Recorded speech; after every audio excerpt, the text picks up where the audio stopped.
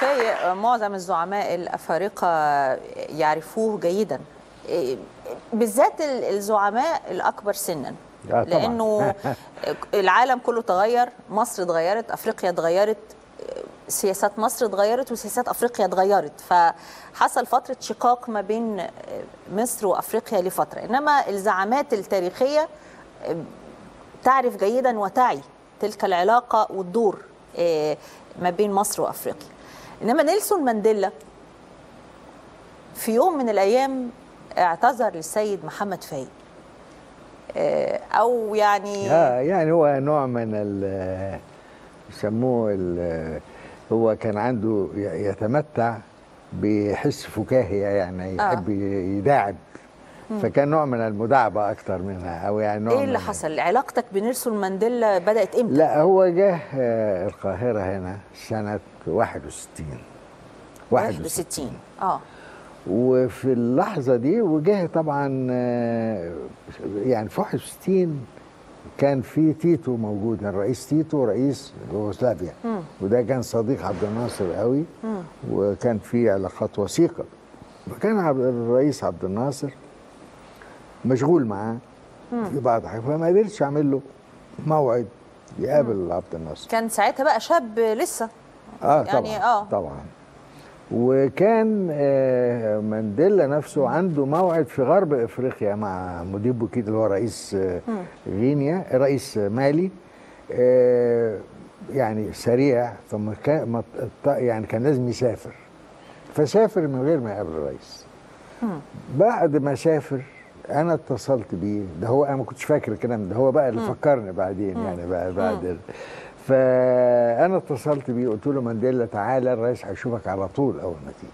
فقال لي لا أنا عندي لازم أروح البلد الأول بلده. آه. و لأنه في حاجات لازم أكون موجود فيها. وهرجع بعد أسبوع. وحددنا الموعد اللي هيجي فيه. راح هناك الدنيا قبضوا عليه. وقعد 27 سنة. في السجن. وإحنا دعاناه بقى كان دعي بعدها بسنة كمان فبقوا 28 سنة. فأول ما دخل مصر أول ما جه في مصر راح طالبني. فلقيت التليفون بقى يا فندم كلم الزعيم مانديلا معاك.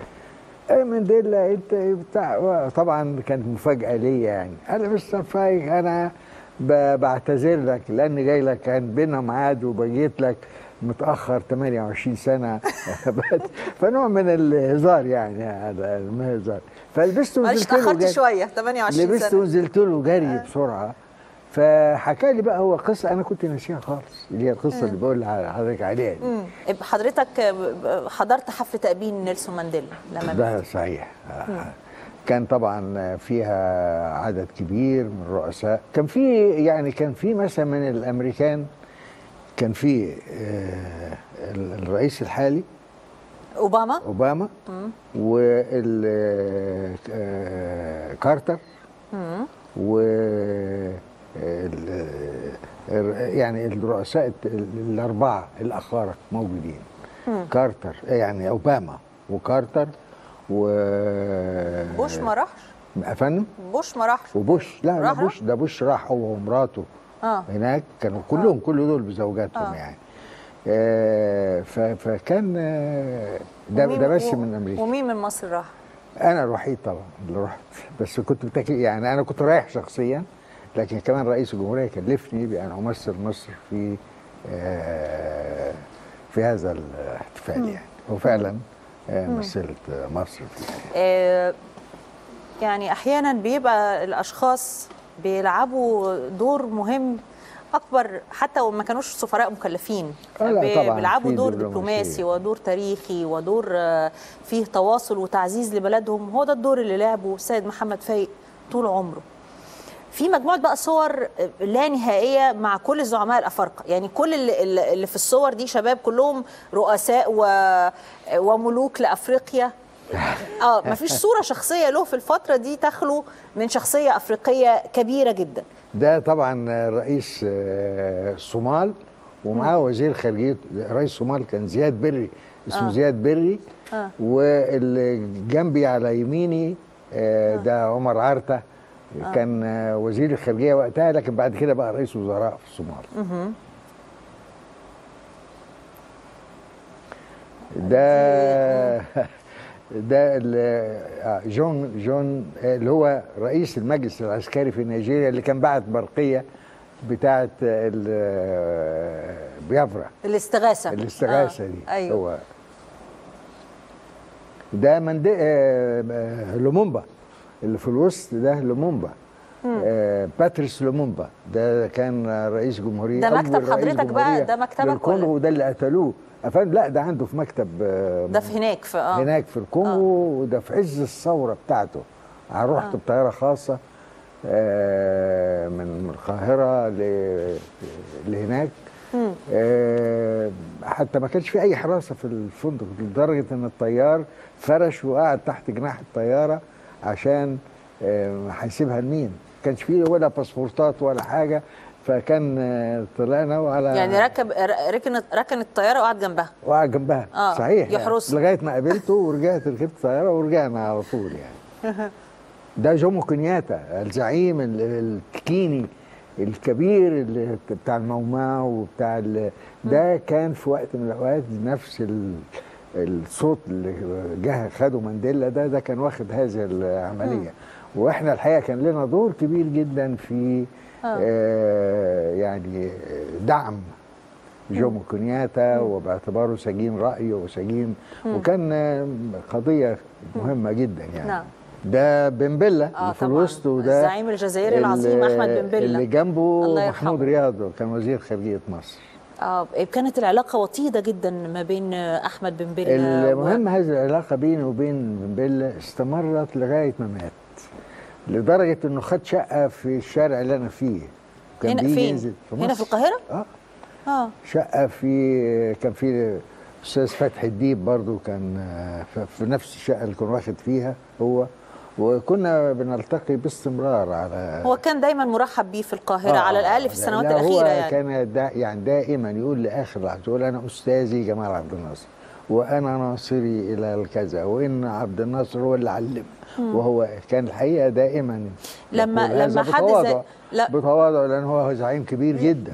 لما حد زي السيد محمد فايق يشوف الأزمات اللي حصلت ما بين مصر وأفريقيا بشمالها ووسطها وجنوبها بي- بيحس بإيه؟ بيحس انه إنه في استهتار بتاريخ لا يعني أنا أنا الحقيقة بعتقد إن إفريقيا دي جزء مننا.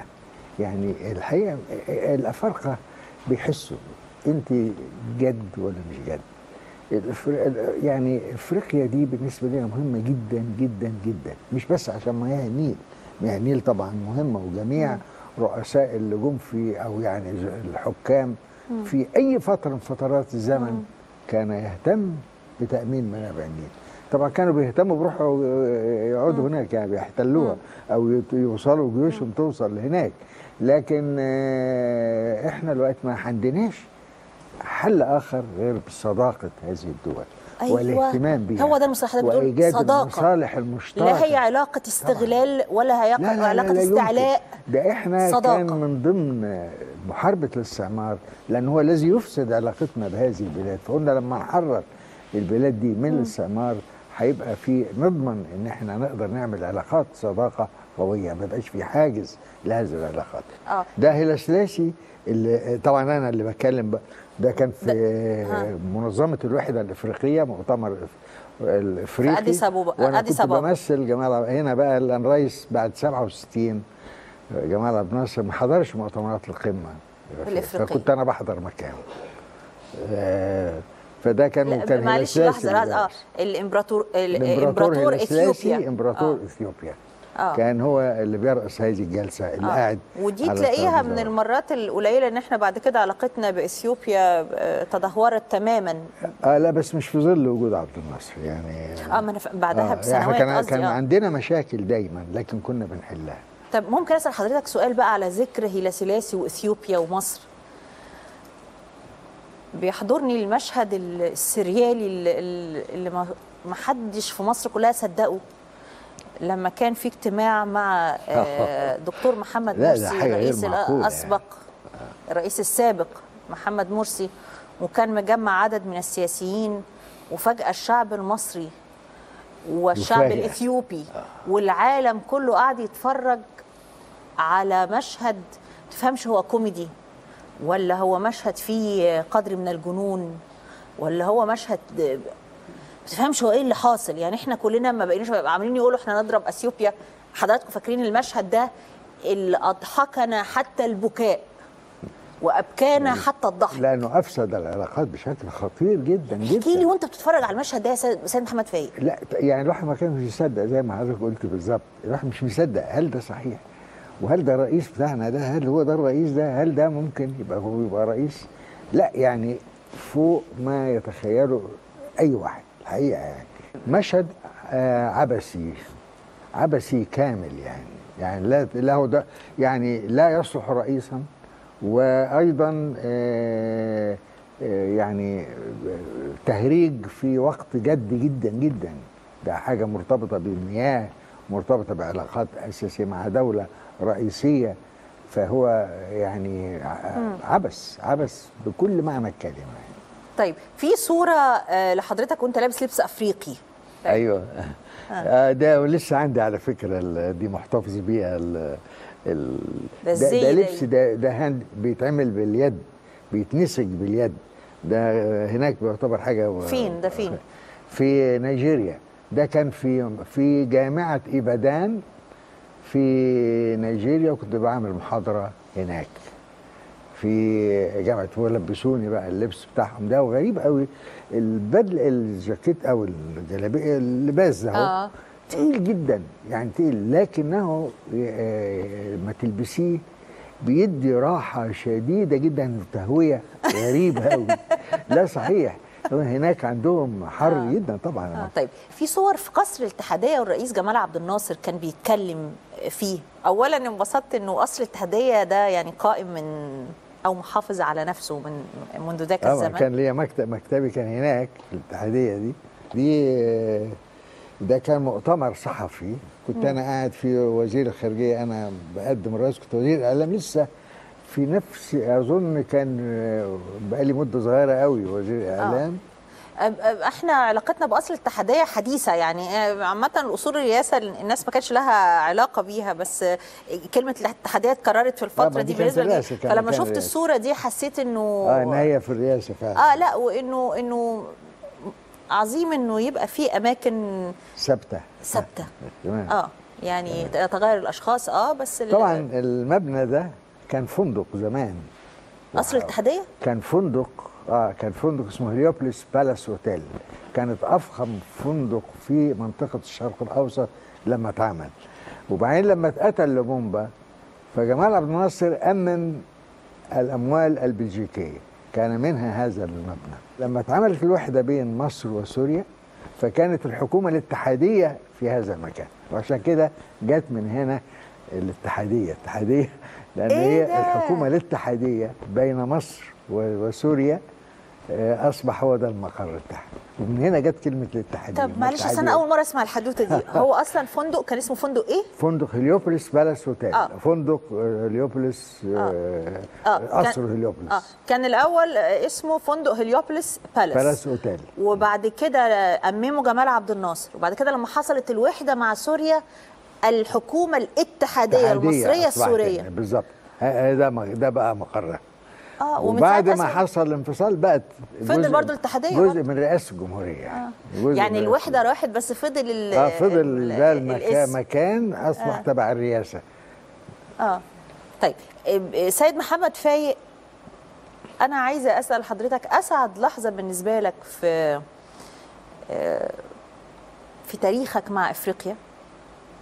سواء زمان أو دلوقتي إيه اللحظة اللي أنت لا يمكن أن تنساها من آه، من قربها لقلبك يعني الحقيقة القضاء على نظام الأبارتهايد في آه. في جنوب أفريقيا. جنوب أفريقيا ده كان حلم زي ما بنحلم إن غين إن فلسطين تعود لأهلها بس كنا متصورين إن ده هيتم قبل جنوب أفريقيا فده كان حلمين دول بتوع فلسطين هو جنوب أفريقيا. لأن ده استعمار استيطاني وده استعمار استيطاني آه. فكنا متصورين دي آخر بلد ممكن تاخد وإنها فلسطين هتحرر قبل كده. لكن اس- آه، القضاء على آه، هذه النظام ما فيش شك إن ده كان طب- انتصار للإنسانية. طب مش أنا بس عايزة مش انتصار لأفريقيا فقط لكن انتصار للإنسانية.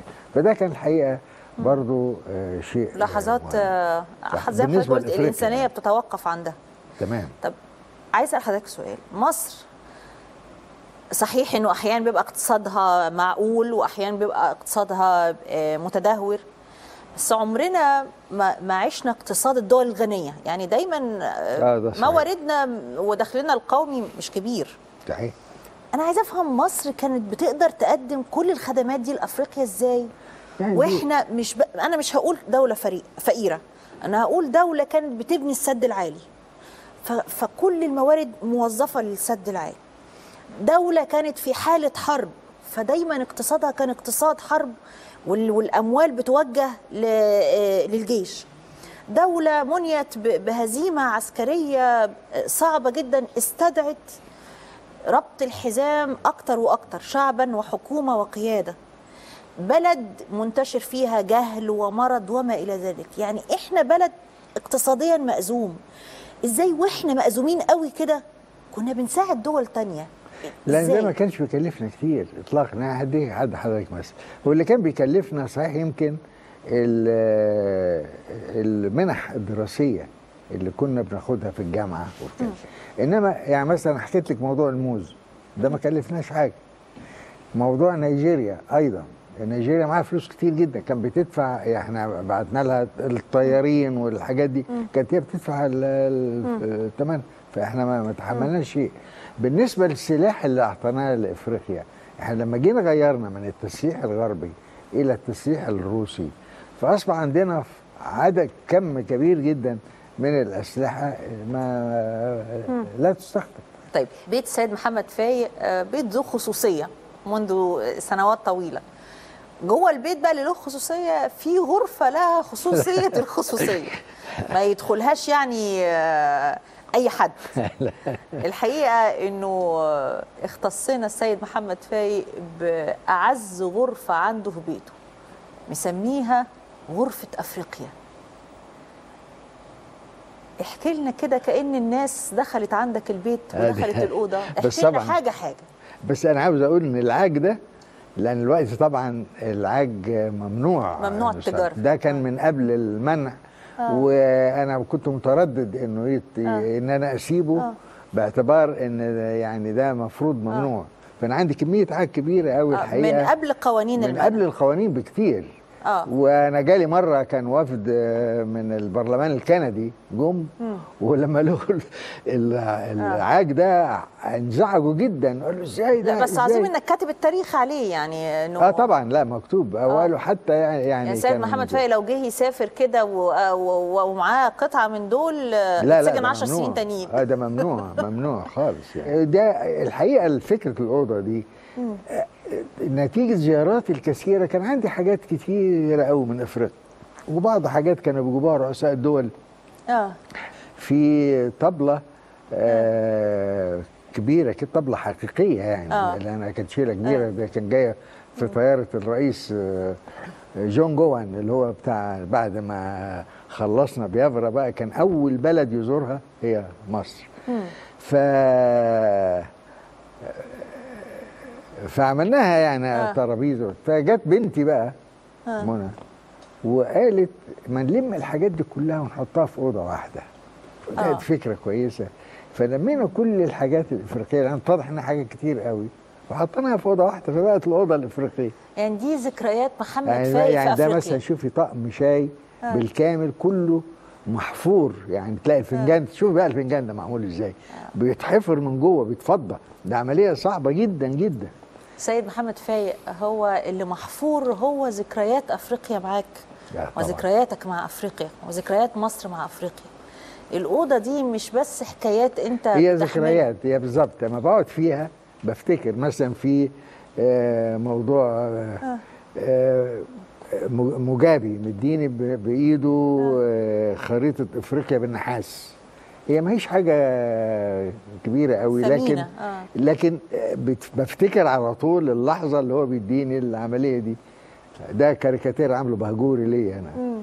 كان في إيه بتفكرك إيه بالاوضه الأوضة دي يا سيد محمد فهمي بتفكرني بتاريخ طويل يعني لأنه كل ما أبص بقى دي من آه، يعني وبعدين أنا بعرف الشخصيات يعني مثلا التماثيل أقدر أقول لك ده من قبيلة كذا من قبيلة الماساي ده من قبيلة ال ال آه، اليوربا مثلا في نيجيريا. تفرق عن قبيلة الهوسة في نيجيريا برضو. آه. وهكذا. فما بشوف تمثال من دول. بفتكر القصص طويلة عليه يعني وعلى القبيلة بتاعته وعلى الكذا يعني. آه، إحنا بعد الفاصل هننتقل من أزمات أفريقيا للأزمات الشخصية.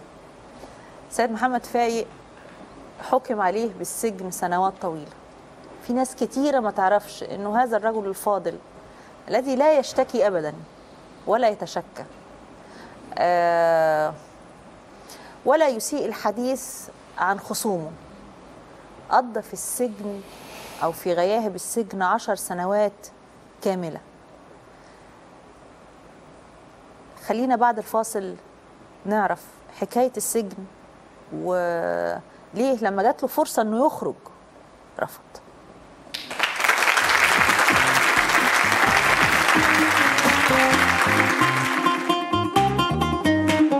لو كتبت الورقة دي أنا أفقد نفسي إلى الأبد. ويتقال لك كده فجأة أن أنت متهم بالخيانة العظمى. دورنا وراك وبالإبرة. صحيح مسجون لما بيمسك أي كتاب بيحس إن هو بيحرك. الكتاب ده كان أثر في واحد قوي ولا ليه ما ما هو. هو لم يعرف ما هي نوعية محمد فايق قال لي انت رايحة فين؟ قلت له نازلة مع أصحابي. فلقيت الشارع حمراء وقفت لقيت العربيات ماشية برضه.